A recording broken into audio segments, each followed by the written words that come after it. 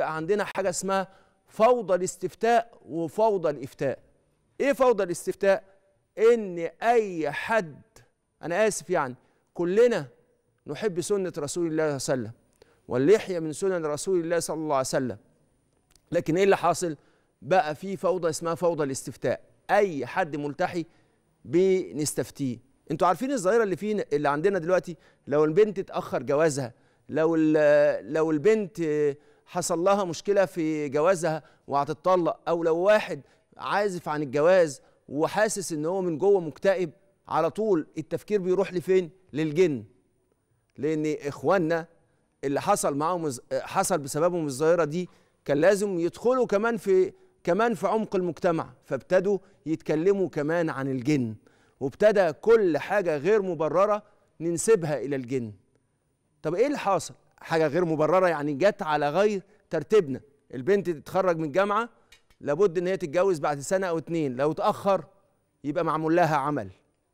الولد لو هو عازف عن الجواز لأنه حاسس إن هو أعباء وهو حاسس إن هو ما عندوش طقطان ولا خلق برضه الجن. ولما يجي حد يقول له إيه؟ يقول له الجن مش مذكور في القرآن؟ الذي يوسوس في في صدور الناس من الجنة والناس. أهو. قال له خلاص يبقى خلاص يبقى هو, هو كل حاجة مذكورة في القرآن. يبقى لازم تكون عند الناس اللي حصل كده. وانتشر الناس دول كالنار كالنار في الهشيم. قعدوا ينسجوا خيالات تأسست لعقل الخرافة في الناس. وابتدت الناس أنا بسميها ظاهرة تجنين المجتمع. يعني إيه تجنين المجتمع؟ أن المجتمع يسيره الجن. حصل ده؟ حصل ده. بكثافة؟ بكثافة. طب إيه سببه؟ شعبوية الدين لكن للأسف مش دول بس اللي عبثوا كمان في ده في حد كمان في ظاهرة حديثة ظهرت من سنوات قريبة إيه اللي حاصل؟ يا جماعة أنتوا من حقكم إن أنتوا تفتوا لأن دي حرية الرأي حرية الاختيار اختاروا اللي أنتوا عايزينه طب هنعمل إيه في قوله تعالى؟ فاسألوا أهل الذكر إن كنتم لا تعلمون لا إحنا مش عايزين حد يتسلط على المجتمع حد يتسلط على المجتمع إزاي؟ ده الحقيقة إن دوت دور مجتمعي. آه لا إحنا مش عايزين حد يمارس الكهانة على الناس. آه بس ده مش كهانة. الناس لما كانت بترجع للمرجعية بترجع للمرجعية لسبب تاني خالص. إيه السبب ده؟ إن في حد قام بدوره المجتمعي فالمجتمع قدره فبقى مرجعية. ادي المسألة. هو أصبح مرجعية لأنه يقوم بدور مجتمعي. الطرفين دول أسسوا لشعبوية التدين لشعبوية الدين فأدى ذلك إلى الأرضية والقاعده الذي انتشر بها انتشر بها التطرف في المجتمع.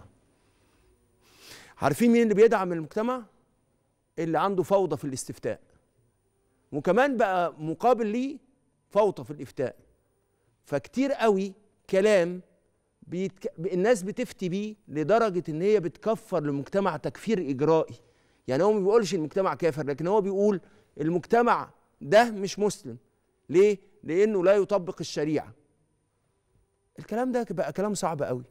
تخيل كده لما يجي حد على دار الافتاء المصريه ويعمل إيه؟ يقول كده يكتب لهم أنتوا هتفتوا. آه على فكرة إحنا. إحنا بنفتي. فأنا قلت لإخواننا اللي ماسكين ال social media عندنا في دار الافتاء قولوا له آه إحنا بنفتي. دي مهمتنا. ده اللي اقامنا الله فيه.